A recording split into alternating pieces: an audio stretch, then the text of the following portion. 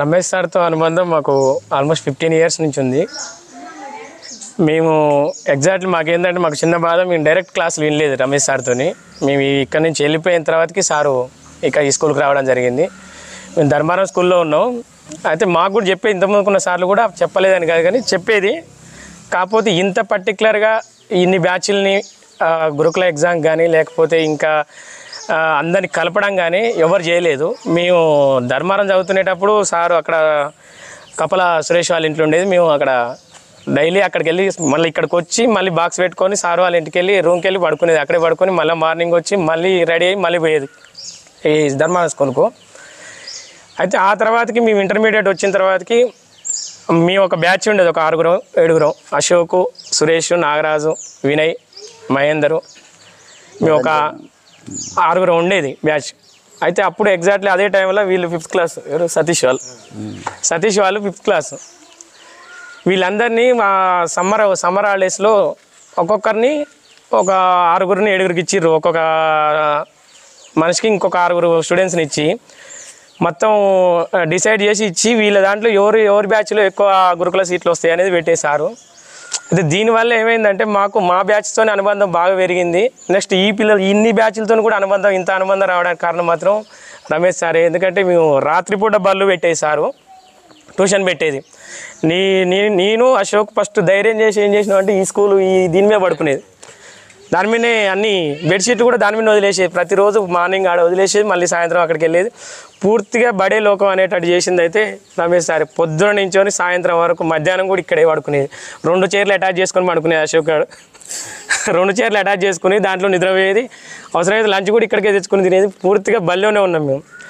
ఎందుకంటే బడి వాస్తవానికి ఒక కోట్ల గుడి తలుపులు తెలుసుకునే కంటే ఒక బక్క పలసిన దేహంతో ఇరిగిన తలుపులతోని చచ్చిపోవడానికి రెడీగా ఉన్న ఒక బడి తెడుచుకోవడం చాలా అదృష్టం. ఎందుకంటే దీంట్లో ఇది పెద్ద జ్ఞాన భండాగారం ఇందులో అందరు ఎంప్లాయీస్ అవుతారా లేకపోతే ఈ రాజకీయ నాయకులు అవుతారా పెద్ద సాఫ్ట్వేర్లు అవుతారా అనేది తెలియదు కానీ ఈ స్కూల్ నుంచి వెళ్ళిన వాళ్ళు మాత్రం ఖచ్చితంగా ఒక మానవత్వంతో ఒక మానవత విలువలతో బతకడానికి ఈ బడి తోడ్పడుతుంది. ఇందులో బంధుత్వాలకు ఫ్రెండ్షిప్కు విలువలు నెక్స్ట్ జనరేషన్తో అనుబంధాలకు మాత్రం ఈ బడి తోడ్పడుతుంది. ఎందుకంటే బల్లో హేతుబద్ధమైన విషయాలు అప్పుడు మాకు చెప్పారు. ఇప్పుడు ఈ స్కూళ్ళలో ఇప్పుడున్న జనరేషన్లో లేవు. ఎందుకంటే మనం చూస్తున్నాం సైన్స్ టీచర్ ఏం చేస్తారంటే పాము పాలు తాగితే చచ్చిపోతుంది ఊపిరితిత్తులలో పోయి అని చెప్తారు. తెల్లారి పాల డబ్బాలు పట్టుకొని నాగుల పంచం రోజు పుట్టల దగ్గర నిలబడతారు.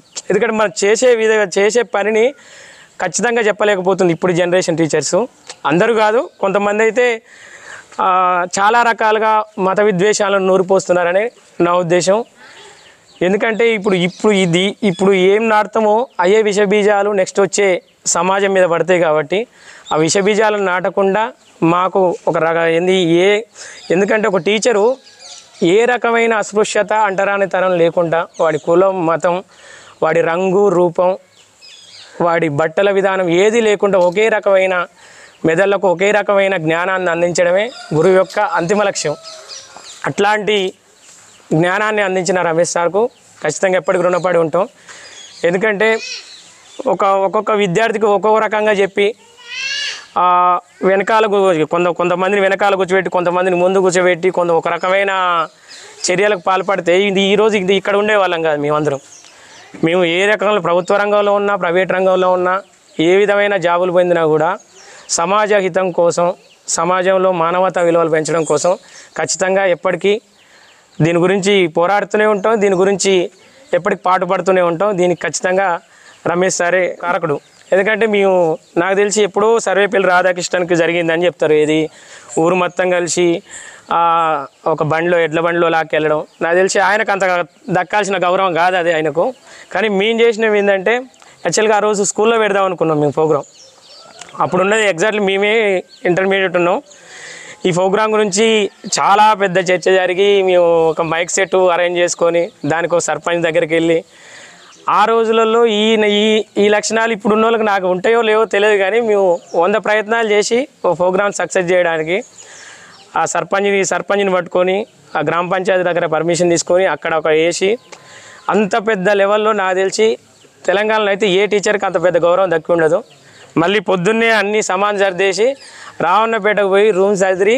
మళ్ళీ రాత్రి మేము చాలా అద్భుతమైన రోజును గడిపాము ఆ రోజు మునిపంపుల్లో. మునిపంపులకు వెళ్ళాము రావణపేటలో లంచ్ చేసి మునిపంపులకు వెళ్ళి మునిపంపుల ఊరిని చూసి మళ్ళీ ఆ వెహికల్ని ఎక్కడో ధర్మారం ఆపాల్సిన వెహికల్ని మా కోసం మళ్ళీ ఇక్కడ దాకా పంపించి ఇక్కడ దింపేసి ఆ రోజు మేము ఎప్పటికీ మర్చిపోలేము మేము వచ్చిన వాళ్ళం అందరం. అయితే మేమేం చేసినాం ఫిఫ్త్ క్లాస్ వాళ్ళకు కూడా ఫేర్వెల్ పార్టీ పెట్టాం సారాయంలో వీళ్ళ బ్యాచ్లో ఫిఫ్త్ క్లాస్ వాళ్ళకు కూడా ఒక ఫేర్వెల్ ప్యాట్ అరేంజ్ చేసి ఇక్కడనే మ్యాక్ సెట్ అరేంజ్ చేసి అదే ఈ అనుభవాలు ఏమైందంటే జీవితంలో సగం అనుభవాలు ఈ స్కూల్కి సంబంధించినవి ఉంటాయి ఎన్ని స్కూల్ మారినా మేము ధర్మారం పోయినా తర్వాతకి నేను క్రిమినల్లో చదువుకున్నా ఎక్కడ చదువుకున్నా అద్భుతమైన అనుభవాలు ఈ స్కూల్ నుంచి వచ్చినాయి మాకు దానికి ప్రత్యేకంగా ధన్యవాదాలు తెలుపుతున్నాను సార్. అంటే ఈ విధంగా అంటే వీళ్ళ బ్యాచ్ వాళ్ళు మామూలుగా నేను వచ్చేవరకు అప్పటికే సిక్స్ అయినా కానీ సరే నేను ఇదే గ్రామంలో వీళ్ళు చదువుకునే ధర్మారాయణ గ్రామంలో ఉండడంతో వీళ్ళతో ఎక్కువ అనుబంధం ఉంది ఈ బ్యాచ్ వాళ్ళు చాలా ఇక మెమరీస్ ఉన్నాయి. అంటా ఉండే రోజు రోజు మర్చిపోతుంటాం కాబట్టి. సరే ఏదేమైనా చాలా అంశాలు కూడా ఇప్పటికి ఎన్నో మెమరీస్ కూడా గుర్తు చేయడం జరిగింది. అంటే ఇక్కడ ఫిఫ్త్ క్లాస్ ఫేర్వెల్ పార్టీ కూడా మామూలుగా నైట్ పూట జ జరపడం తర్వాత ఏ కార్యక్రమం జరిగినా కానీ మొత్తం మీద వీళ్ళకు మిగతా వేరే జూనియర్స్ని కూడా చదువు చెప్పమని చెప్పడం వీళ్ళు కూడా ఈ బళ్ళు టీచర్గా అన్ని రోల్స్ కూడా వీళ్ళు కూడా పోషించారు అలా అనేక రకాలుగా మొత్తం మీద ఇక్కడ ఆటపాటలు అనుకోండి అన్ని రకాలుగా మరి ఈ వీళ్ళతోటి అనుబంధం నాకు ఉంది వాళ్ళకు నాతో ఉంది. ఈ విధంగా ఇప్పటికీ కూడా ఏ ప్రోగ్రాం జరిగినా మంచి జరిగినా చెడు జరిగినా మరి మామూలుగా నన్ను వాళ్ళు ఇన్వైట్ చేయడం నేను వాళ్ళకు చెప్పడం ఏదైనా విషయం ఉంటే అలాంటివన్నీ జరుగుతున్నాయి. ఆ క్రమంలో మన శ్రీశైలం కూడా మంచి అంటే ప్రతిభావంతుడే. మరి ఇంతకుముందు ఒక మంచి గాయకుడు కూడా పాటలు కూడా పాడతాడు. తర్వాత సమాజం గురించి నిరంతరం ఆలోచించే వ్యక్తి మొత్తం మీద ప్రస్తుతం ప్రభుత్వ ఉద్యోగిగా అయితే ఉన్నాడు. అతనికి కూడా అభినందనలు.